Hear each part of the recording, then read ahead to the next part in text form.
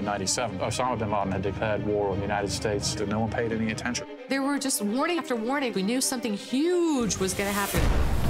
I think women make fantastic analysts. We have patience, perseverance. People who had really deep expertise in Al Qaeda, they were women. We were trying to keep track of all the threads of various threats, and the language being used by these guys was like, oh my God, what are they going to do?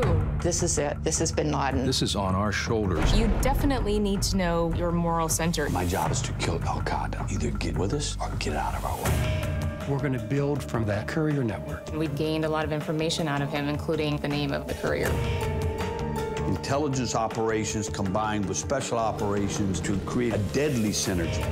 When you do this, eventually you lose one. How can you have a war on terror when terrorism is a tactic? You have a war against people. So who are the people that we're fighting the war against?